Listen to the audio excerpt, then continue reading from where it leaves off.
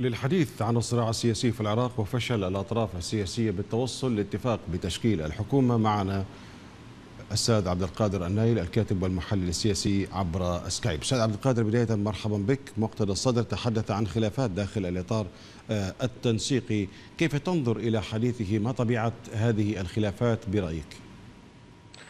أهلا وسهلا بكم ومشاهديكم الكرام. تتصاعد أزمة العملية السياسية بين أطرافها وتتعمق الهوة فيما بينهم لأنه حقيقة الكل يبحث عن المصالح الفئوية وبالتالي وصلت العملية السياسية إلى طريق مسدود. الخلافات شاسعة داخل ما يسمى الإطار التنسيقي لأن هذه الخلافات حقيقة تتعمق وتنكشف يوما بعد يوم من جهة أن المالكي يسيطر على مجمل قرار الإطار التنسيقي ومع اعترافه اليوم بأن الشعب العراقي ب 75% لم يشارك بالانتخابات وهو اعتراف لأول مرة هو يؤكد تماما على أن العراقيين رفضوا هذه العملية السياسية وإجراءاتها.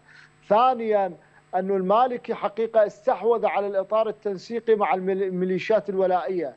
أمام كل من الأطراف الأخرى أمام هادي العامري أمام عمار الحكيم وبالتالي أمام حيدر العبادي إذا هناك خلافات كبيرة على زعامة أو التصدر أو آه، لملمة المشهد أو بالاتجاه بالذهاب باتجاه آه، حلول أو انتخابات جديدة، لذلك حقيقة آه، بدأت آه، مراحل الإطار التنسيقي تتصدع من حيث المصالح الفئوية والشخصية ما بينهم ومن حيث المالكي وتهديداته باستخدام الملفات التي يمتلكها على مجمل أعضاء الإطار التنسيقي، هذا كله حقيقة يدفع باتجاه أن الأزمة السياسية الحالية دخلت بالنفق المظلم الذي لا رجوع عنه وبالتالي هذا يؤكد على أنه آه، لغة الحوار ولغة الذي يدعى إليها وهو حوار الفرقاء وليس حوارا وطنيا كما يدعي الكاظمي. هذه حقيقة ذهبت لا قيمة لها ولن تجدي نفعا أمام التطورات التي تشهدها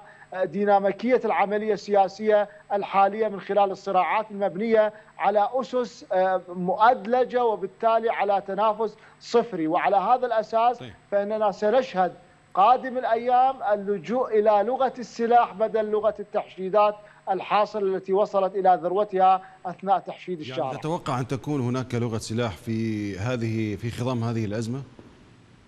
يعني الواضح تماما على أنه من وصلت هذه الأطراف إلى تحشيد الشارع للغة بدل لغة الحوار فيما بينها هذه القضية مرحلة بدائية للوصول إلى أنه الطريق مسدود للحوار فيما بينهم.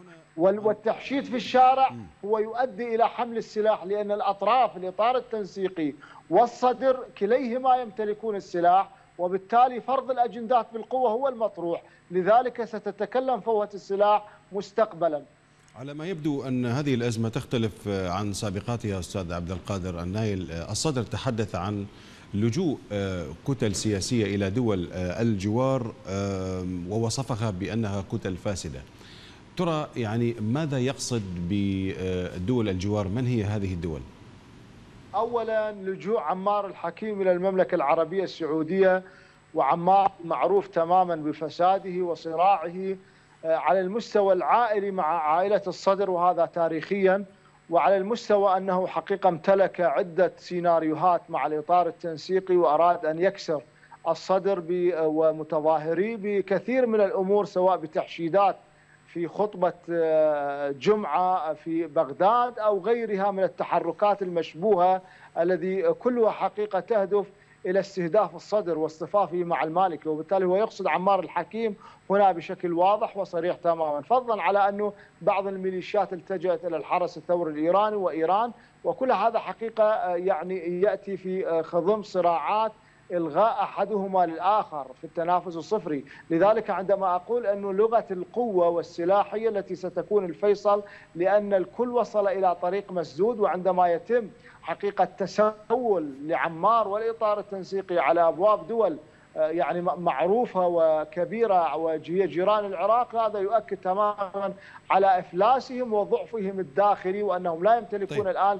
إلا حل المواجهة المسلحة مع الصدر. أستاذ عبد القادر هذا الفشل بإدارة البلاد داخليا آه، بالتأكيد له انعكاسات على تمثيل البلد خارجيا. كيف تابعت فضيحة سفير العراق في الأردن؟ اولا واضح تماما أن هؤلاء لا يمتلكون من الدبلوماسية شيئا ولا يفهمونها. ثانيا معلوم تماما أن هؤلاء طارئين على السياسة فهؤلاء صنعهم الاحتلال الأمريكي وجاءت بهم إيران وبالتالي معلوم أن السفارات في العراق خارج خارج العراق هي تمتلكها إيران لذلك من الطبيعي لأن هؤلاء خانوا بلدهم ووطنهم. فكيف لهؤلاء ان ان لا يذهبوا بهذه الطريقة؟ لذلك ما جرى حقيقة يؤكد على يعني حقيقة هذه الأحزاب وشخوصها ولا سيما أن هذا السفير مقرب من المالكي بشكل واضح تماما. لذلك حقيقة ما يأتي على أن هذه الأمور تثار كلها بسبب ارتباطهم بالمالكي وثانيا هؤلاء حقيقة هذه حقيقتهم. يعني لو لم يكن هناك عملية كشف ربما كانت هناك عمليات أخرى لسفارات أخرى أبشع مما تم الكشف عليه. لذلك هؤلاء طارئين بهذا الإطار. في جوهر الكلمة كلمة انتخابات يعني هناك مشروع يعني للكتل السياسية في جميع البلدان وفق معايير محددة تكون المادة المستهدفة هي البلد والمواطن. في العراق يا ترى هذا المشروع السياسي الذي خرجت به الانتخابات الأخيرة وكل انتخابات منذ احتلال العراق هل تتمحور حول تطوير البلد تطوير المواطن الاهتمام بالمواطن؟ ما هو حقيقة المشروع السياسي لكل انتخابات؟ الكتل السياسية عندما تتحدث عن مشروع سياسي هذا المصطلح سئم العراقيون من من سماعه. آه يعني المشروع السياسي المشروع السياسي ما هو مشروع هذه الكتل؟ مشروع الكتل السياسية في العراق يتمحور على قضيتين قضية خارجية وهو الولاء للدول الراعية للعملية السياسية ومقدمتها أمريكا وإيران وإيران هي اللاعب الرئيسي لأنها سلمت العملية السياسية بكل تفاصيلها.